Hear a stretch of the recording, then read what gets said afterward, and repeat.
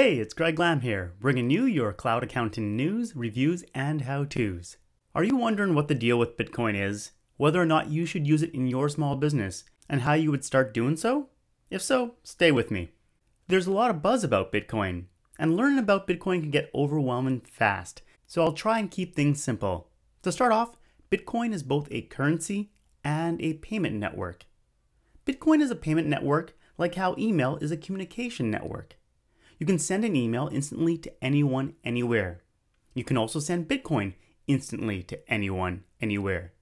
You can have multiple email addresses, which you can send emails between. You can have multiple Bitcoin addresses that you can send Bitcoin between. An email address can be used in any software, whether it be online, like Gmail, or software installed on your local computer, like Microsoft Exchange. A Bitcoin address can be used in any software as well, whether it be online, on your desktop, or on a mobile device. Bitcoin is also a currency, like physical US dollars. If you lose your physical cash, there's very little chance you'll get it back.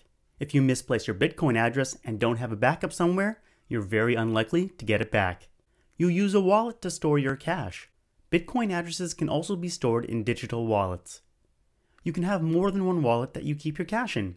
You can have multiple Bitcoin wallets. It's a lot harder to trace cash than it is to trace bank or credit card transactions. It's hard to trace Bitcoins because you don't necessarily know who the sender or receiver is. However, all transactions are 100% public. So if someone figured out your Bitcoin address, it's very easy to trace your transactions. When you use cash, there's normally no transaction fees.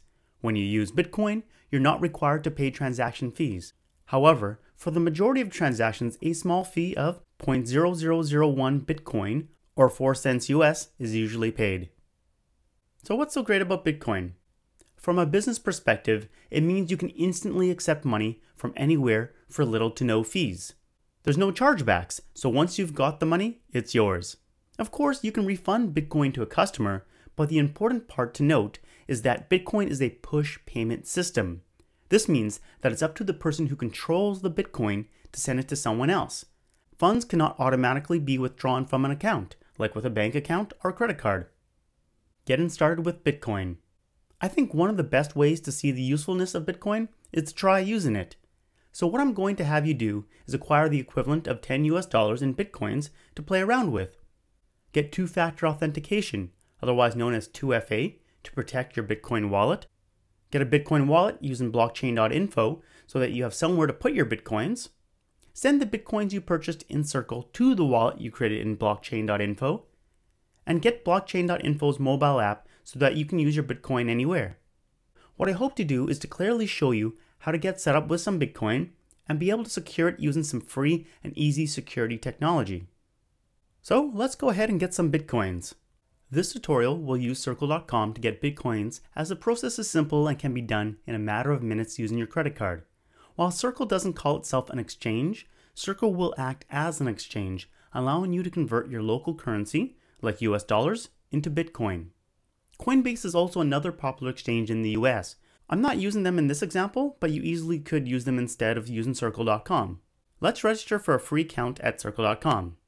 Circle has two-factor authentication, by default, Circle sends a text message with a code to your phone. What happens is that you enter your phone number, you get the code via text message, and enter it into Circle.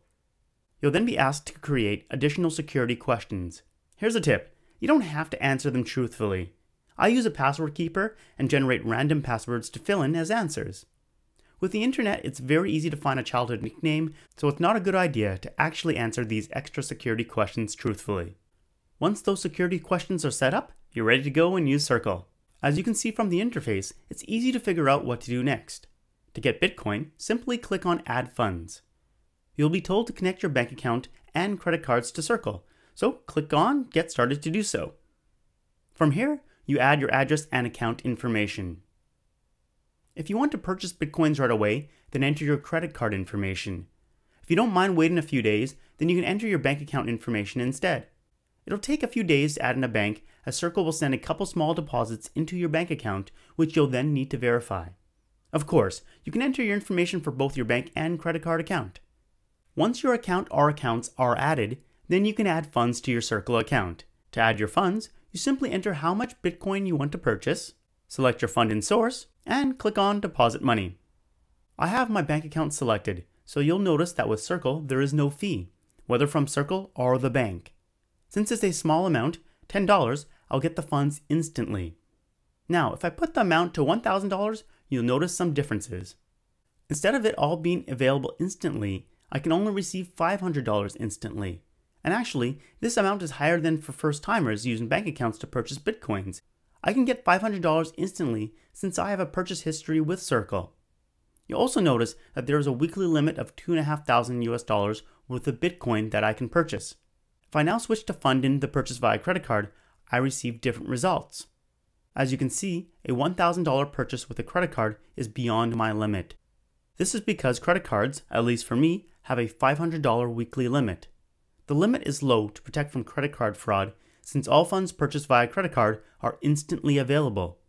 What I did want you to notice is that there is a processing fee of $29 on $1,000, or in other words, 2.9%. This is standard for all credit card purchases in Circle. However, you will also notice that there will probably be additional fees from your card issuer. This is the cash advance fee, since this is how Circle takes funds from your credit card. Some credit cards don't charge a cash advance fee, but mine charges $5, so you may want to check with your credit card company before purchasing. To actually go ahead and make the purchase, I'll buy $10 using my bank account since I have it set up and it's free of charge. Again, since you're new to Circle, you'll need to use your credit card to purchase Bitcoin if you want to have instant access to it. Even though I just deposited the money, in my transactions list, I see a message saying that I'm depositing $10 rather than I deposited $10. So the deposit is instant, but not instantly instant. What I like about Circle is that every step of the way there's quick access to more information. So if you click on the link, how long do transactions take to complete, you can get the answer to why the instant transaction isn't quite instant. If I've read the answer correctly, it can take from a few seconds to 40 minutes. So what to do now that you have Bitcoin? Let's make your dealing with Bitcoin a bit more secure. We'll get two-factor authentication.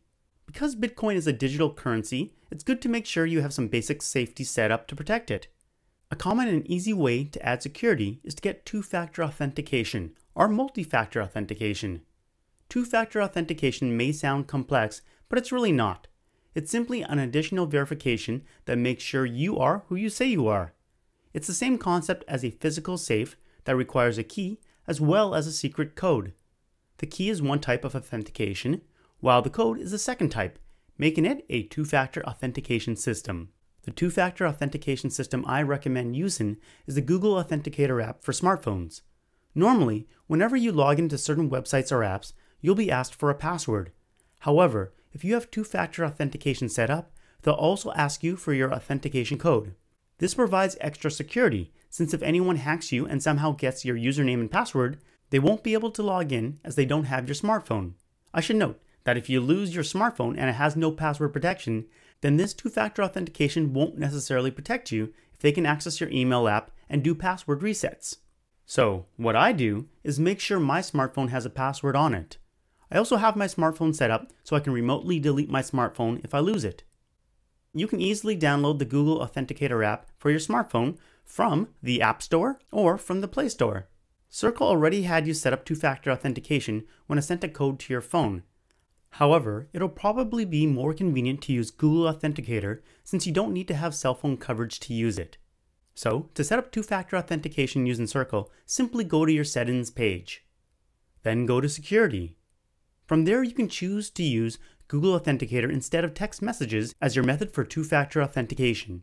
You'll then get another authentication code sent to your phone as a text message, just to confirm that you're authorizing the change. And then you'll get a QR code that you can scan in using your Google Authenticator app on your smartphone. So, whip out your smartphone, fire up the Google Authenticator app. After that, you choose the scan a barcode option and scan the barcode shown on your computer screen. You will then see your authentication code that you can enter in to confirm that you'll use Google Authenticator as your two-factor authentication. I'll wrap up this first video in the Bitcoin 101 for Small Business series. In the next video, I'll show you how to set up an online and mobile Bitcoin wallet and transfer your Bitcoins between wallets.